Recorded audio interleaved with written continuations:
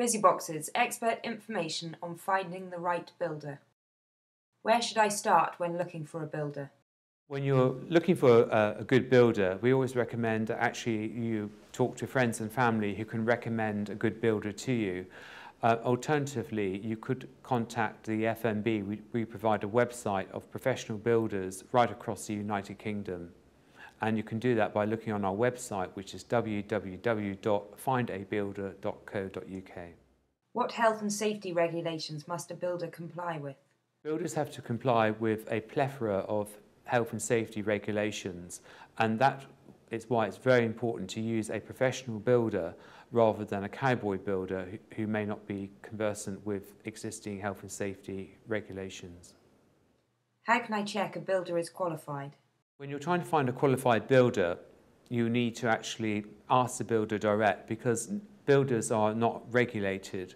Uh, so anyone can be a builder in this country. That's why it always pays to use a professional builder who belongs to a trade association such as the Federation of Master Builders. Is there a body that governs builders?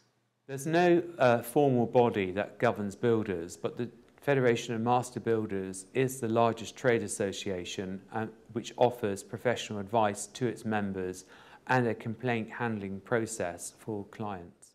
Do builders use their own tools? Most builders will have their own tools to use on, on the job. Occasionally they will need to actually hire in extra tools if it's a major job that you're having done. What do I need to provide my builder with? When you're having the builders in your home, it can be quite stressful, but there are a number of things you need to think about. One of them is actually um, making sure they've got access to a loo. And if you don't want the builder to use your own bathroom, um, supplying a porta loo, you might also want to think about access to your property and also think about tea and coffee because builders do like a cup of tea.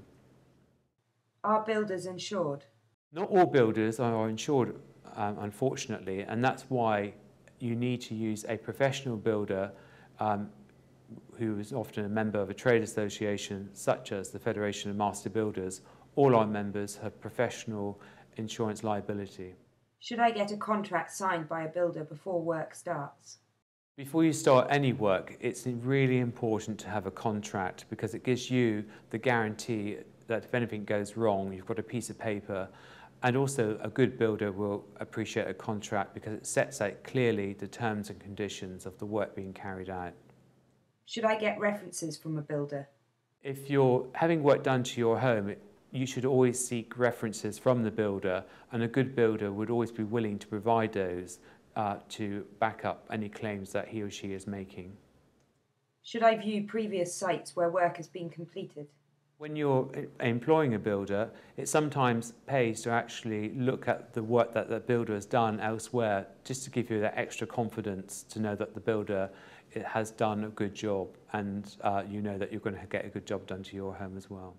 Should I make sure my architect is happy with the builder I choose?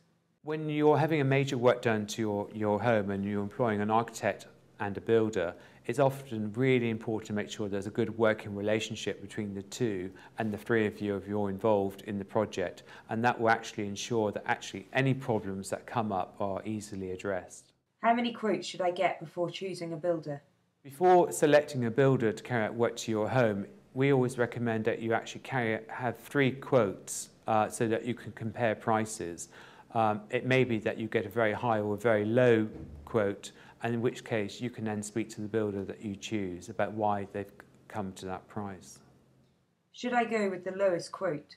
The lowest quote is not necessarily the best one. It depends on the work you're having, um, the, whether or not you're actually having a professional builder, and often it does pay to actually pay a little bit more and make sure that you're having a quality work done. Should I negotiate costs with my builder? When you're considering having work done to your home, uh, you need to think about the price and you need to uh, talk to your builder about what you can afford and maybe negotiate the price. Uh, it, all that depends on current market, market conditions. How do I know I'm not being overcharged? To make sure you're not being overcharged, it's important to have at least three quotes so that you can, you can compare prices and make sure that you're not being ripped off. What should I check for in the quote? When you're looking at the quotes, you need to make sure that it covers the cost of materials and labour and any extra items that you want included in the price. And if you're not sure, do ask the builder. How much should I pay the builder up front? When you're paying the builder, it's very good and essential, we recommend to have a contract in place and to have a schedule of payments so that you stage the payments according to the amount of work that's been completed. Why would a job go over budget? Occasionally, um, building work to your home will go over budget because of unforeseen circumstances. For example, you may have dry rot or a damp problem which couldn't have been seen at the beginning, in which case the, a good builder will warn you about the problem and advise you of the extra cost. Do quoted prices include VAT? The quote should always include a reference to the VAT, and if it doesn't, you should ask the builder why not. How should I pay my builder? When you're paying a builder, it's important to have a schedule of, of payments which are staged, and you should always pay by cheque or by card. Uh, avoid paying cash if you can. Should I ask for a receipt? You should always ask for a receipt for work that's been done to your property, so you've got a, a record of what's been done and what you've paid for. Is it worth waiting for the right builder?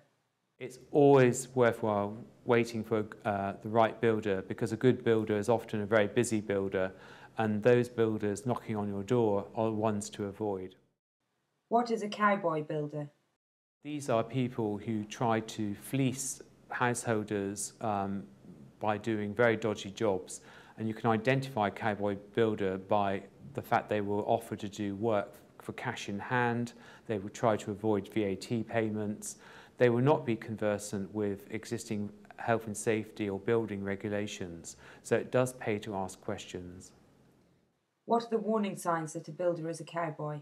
The warning signs for a cowboy builder is someone offering to do work for cash, who, who's not willing to offer any references, uh, someone who actually um, will be trying to pressurize you into making a quick decision. Uh, all those are sort of uh, uh, warning signs to anyone that actually this is not a good professional builder. www.bizzibox.com